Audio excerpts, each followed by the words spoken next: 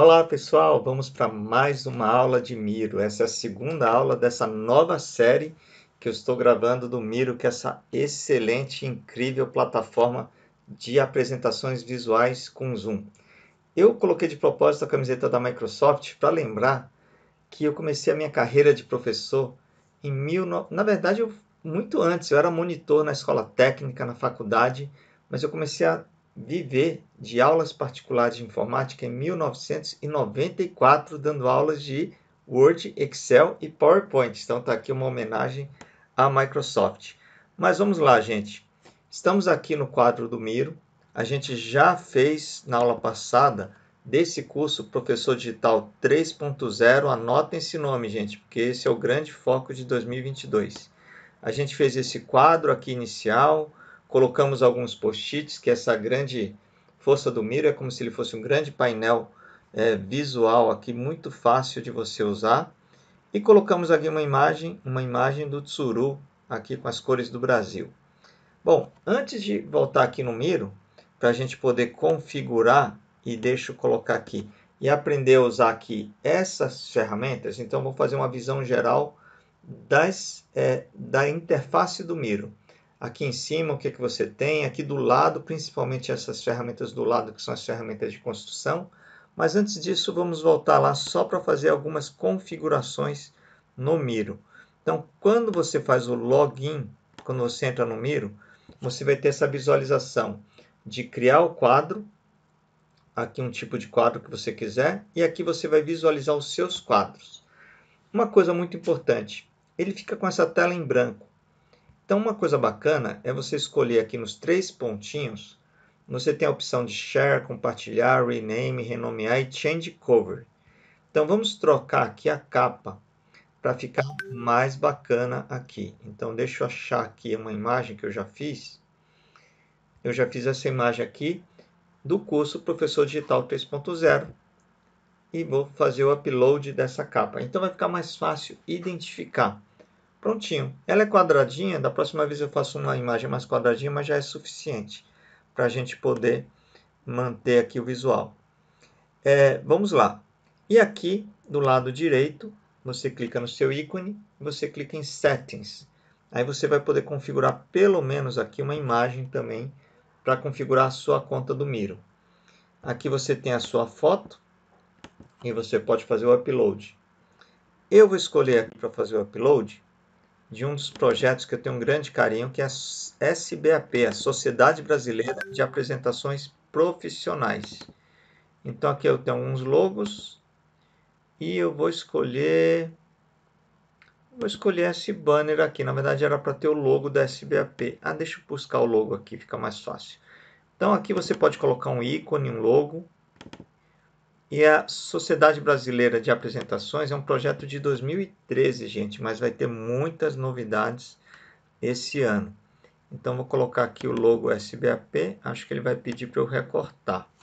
Espero que sim. Vamos lá. Ah, não pediu para eu recortar, caramba. Então, vamos deixar ele assim mesmo? Não tem problema? Ou vamos ver se eu tenho um íconezinho. O ideal seria você mandar um ícone quadrado. Então, vamos lá. Ah, vou colocar aqui esse quadradinho, fica melhor. Pronto. Então, ok. Deixa esse quadradinho mesmo. Aqui você coloca o nome. Eu vou colocar sbap.com.br. Indústria. Não é necessário, tá, gente? Mas é tutoring. E papel. E aí você salva. Então, vamos salvar aqui. Acho que já está salvo, inclusive. Change. Já salvou. Então, maravilha. Go to the birds. E pronto. Pelo menos já está configurado. Em outras aulas, a gente vai aprendendo como mexer aqui mais nessa interface. Mas agora, vamos mão na massa, gente. Vamos voltar aqui. Vou deixar minha foto no cantinho aqui. Então, vamos lá. Primeira questão. Essa parte de cima, a gente não vai mexer muito agora, porque aqui é quando você começar a usar mais a ferramenta, mas é a parte de configurações, é um pouco mais avançado. Aqui você pode salvar esse Miro como uma imagem ou como um PDF. Então isso é muito bacana, porque quando você começar a ter uns miros bem legais, você vai querer salvar como PDF ou como uma imagem e também fazer o download do board. Você pode salvar como um backup. Afinal de contas, é, precisa tomar um cuidado, porque se alguém mexer lá no seu board, no seu quadro super bonitinho, ele não tem um histórico. E, então vamos lá agora conhecer aqui essa, essa, essa barra de ferramentas. Essa primeira opção é a barra de seleção. Então, você, quando deixa na mãozinha, você está movimentando o miro inteiro. Se você clicar na setinha, você pode clicar no elemento, aqui no caso o tsuru, e eu posso aumentar ou diminuir, ou posso movimentar ele de lugar. Lembrando que você tem a opção de navegação com é, mouse ou com touchpad. Então aqui eu também posso movimentar é, usando ou o mouse ou o touchpad. No caso eu estou usando o touchpad, mas isso aqui a gente vai visualizar em outra, em outra aula, eu entro em mais detalhes. Aqui templates. Templates são modelos prontos de estruturas de conteúdo. Deixa eu primeiro fazer o seguinte, gente. Eu vou dar um zoom out. Eu vou aqui para o lado direito, esse espaço em branco, vou dar um zoom in e vou deixar dessa maneira. Pronto. Agora, eu venho aqui em Templates e eu escolho o tipo de estrutura que eu quero fazer. Tem diversas, diversas, uma infinidade de opções. Então aqui você vê uma coisa que eu gosto muito, que é um mapa mental. Olha que interessante. Você pode clicar em Preview para você visualizar como é essa esse esse modelinho e você fala gostei, quero usar como mapa mental. Basta clicar em Use Template e ele vai colocar lá no Miro. Aqui do lado aparece uma pequena instrução, tá vendo? Ele coloca a dica de como editar o post-it. Então, para quem está começando é interessante porque ele está dando a dica ali de como que você pode usar esse mapa mental para que várias pessoas façam ao mesmo tempo. Então, se você estiver fazendo uma interação, você pode falar, cada um escolhe uma cor e coloca as suas ideias. Então, é bem bacana. Então, deixa eu fechar, porque a gente está na aula de Miro exatamente para isso. Pronto.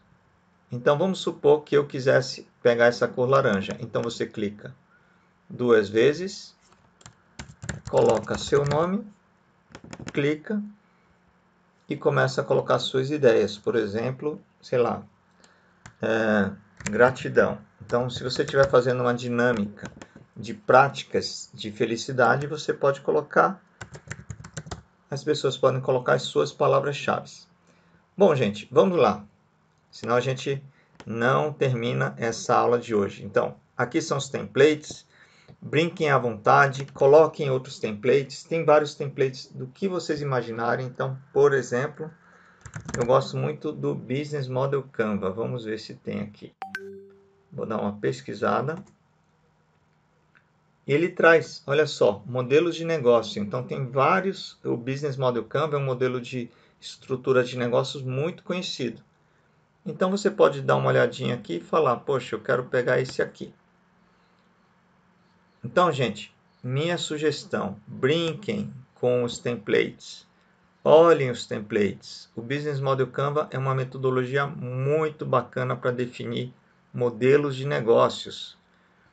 Ah, Márcio, mas eu conheço outro Business Model Canva. Como é que eu faço? Daqui a pouquinho a gente vai ver. A gente pode colocar imagens, mas vamos seguir aqui. Texto esse é o simples, basta você colocar aqui em cima, por exemplo, eu clico aqui e coloco o texto. Mapa mental. Opa, ficou pequenininho. Clica aqui nessa setinha, aumenta ou segura nessa bolinha, estica e puxa, ele vai aumentar ou diminuir. E aqui você escolhe a fonte que você gostaria de usar. Essa barrinha aqui você pode colocar negrito, pode colocar o alinhamento. Aqui dispensa comentários, vocês conseguem rapidamente entender aqui como você pode brincar aqui com essa ferramenta fonte. Esse outro ícone é o post-it. Esse daqui é tranquilo, é o que vocês já estão vendo na tela, só que aqui eu posso pegar um post-it azul, coloco. Então é muito tranquilo, post-it é mais, a ferramenta mais fácil aqui do, do Miro. Ah, vou aproveitar que eu coloquei essa, esse post-it e explicar. Às vezes, o quadrado eu não gosto muito porque às vezes você escreve ele já quebra a linha. Então você pode mudar o formato dele clicando aqui nesse ícone e ele vai te dar diversas opções. Então você tem aqui um post-it que é um pouquinho mais largo, mais retangular. Então você pode escolher o formato do elemento gráfico usando essa opção. Inclusive, você pode transformar ele em texto. Você pode transformar ele numa bola. Vamos lá. Pronto, tá vendo? E você pode voltar ele ao post-it. Falando em bola, a gente tem a opção Shape. Então, aqui ficou também bem autoexplicativo. Você pode escolher uma setinha, por exemplo. Coloca a setinha, desenha e mesma coisa, você pode escolher o tamanho da fonte, escolher a fonte, escolher aqui a espessura da borda, isso daqui é muito importante no caso de setas, e pode escolher o preenchimento também. Ok? Então aqui é a ferramenta Shape. A opção Connection Line Aí você pode ter uma linha, uma setinha ou uma seta mais grossa. Então é também bem autoexplicativo. Você pode fazer uma conexão entre esses dois elementos. Também tem a, o tipo da linha e a grossura. E uma vez que eles estão conectados, quando você puxa, ele já vai junto. Vamos pegar outro tipo de seta, a seta mais simples e outro tipo de seta, que é a seta mais grossa. E aí vocês têm aqui os elementos diferentes. Essa setinha para baixo, ele mostra que tem uma rolagem aqui, ou seja, tem mais elementos aqui. Tem a, a caneta. Aqui você tem vários tipos de canetas também, highlight, caneta. Então, o que é que faz? É um desenho. Opa, você faz um desenho também. Não, não uso muito essa ferramenta, para ser sincero. Aqui você tem os diversos tipos de caneta, desenho, highlights. Tá vendo? Você quer destacar. Então isso aqui é muito importante se eu estou dando uma aula. Eu quero destacar. Aí eu quero escolher a cor aqui. Então você pode escolher aqui a cor e dar um highlight. Então, se você está dando uma aula, professor, professora, é muito mais legal, porque é como se você estivesse lá no seu sua lousa, antiga lousa branca, quadro negro da vida presencial. Então, notem que é muito bacana essas ferramentas aqui do e aqui o erase. Você pode apagar. Pronto. Aí eu apago. Notem que eu não apaguei, eu apaguei os elementos desse quadro, eu não estou apagando eu apago só o que eu usei aqui. Mas vamos lá. Tem comment. Ah, comment é muito legal. Comment é muito legal. Então vamos lá. Comment. Então vamos lá, eu vou vir aqui no meu tsuru verde e amarelo. Eu clico aqui e eu quero comentar. Você clica no elemento e eu coloco. Amei este suru verde amarelo. Então, olha que imagina, gente, como seria legal as pessoas, os seus alunos, irem lá e comentarem. Então, você pode criar uma dinâmica das pessoas colocarem fotos e um comentar a foto do outro, falando assim, você conduzindo essa facilitação. É, o que que trouxe é, pensamentos, sentimentos positivos e você fazer elogios. Então você pode trabalhar essa dinâmica, essa interação. E que mais agora? Aqui o quadro. Quadro é um item bem interessante. Deixa eu só voltar aqui para o quadro. quadro é o seguinte. Eu só vou mostrar aqui primeiro esse... Ah, vou mostrar esse 16 por 9. Acho que vai ser interessante, porque é o padrão do PowerPoint. Então, posso botar um quadro... Entrou um quadro aqui. Está meio clarinho. Vou clicar duas vezes aqui. E vou dar um nome para esse quadro. É abertura. O que é abertura? É o início da conversa. Então, vamos supor que eu quero começar com esse tsuru aqui. Vamos lá, deixa eu juntar ele aqui primeiro. Opa, sem querer... Ah, olha que interessante. O quadro, ele pegou o post-it. O quadro. Eu quero colocar aqui, ó, nesse tsuru. Tá vendo? Depois eu vou colocar um quadro 2. Ele apareceu aqui, olha só. Então, tomar muito cuidado, porque quando você mexe o quadro, olha só o que acontece. Vem todos os elementos, tá vendo? Deixa eu dar um, fazer um voltar, um Ctrl, Ctrl Z. Então, se eu quiser mexer o quadro sem mexer os post-its, você usa essa bolinha aqui, tá vendo? Pronto. E agora eu vou lá embaixo, nessa setinha, e coloco mais um quadro. Cadê onde foi parar o quadro? Está aqui em cima. Nessa hora que o quadro entrou, eu posso arrastar ele. Depois que eu encaixei ele aqui, eu tenho que usar a bolinha. Márcio, e agora? Eu não entendi para que serve esse quadro. Agora você vai lá aqui em cima, deixa eu até me posicionar aqui para vocês verem. Gente, eu estou usando para gravar aqui o próprio zoom e o zoom com fundo transparente. O fundo, eu troco o meu fundo aqui no Zoom. Mas eu estou usando o Camtasia para gravar todas as telas. O Camtasia é a melhor ferramenta para gravação de videoaulas. Então, olha só, agora vocês vão olhar aqui para cima e vão ver que tem uma setinha ali de apresentação. Então, vamos lá. Eu vou clicar nessa setinha de apresentação, Presentation Mode.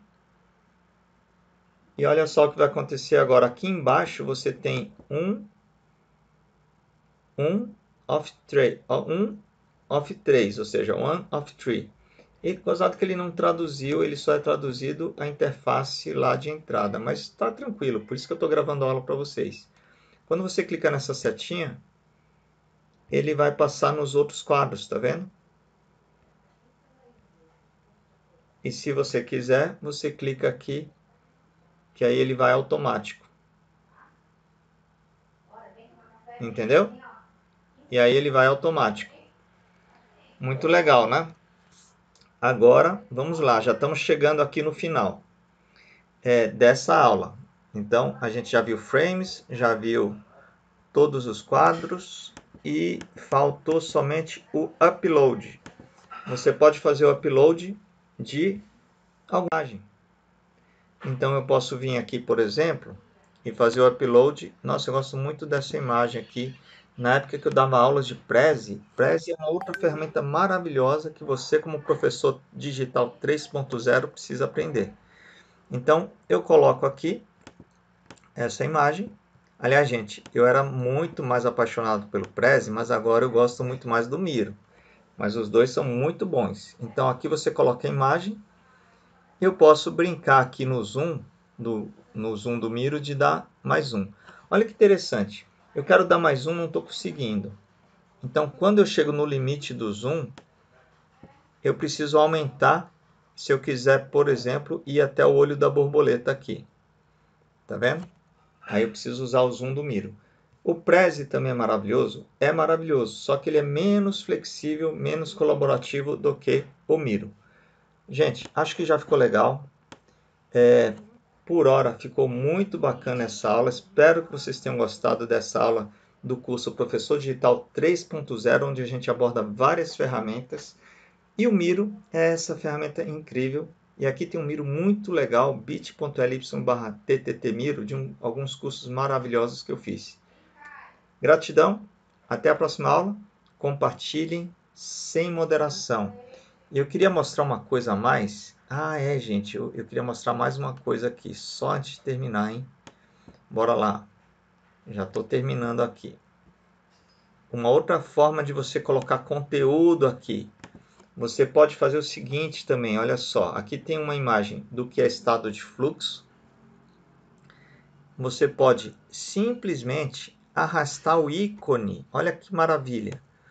O ícone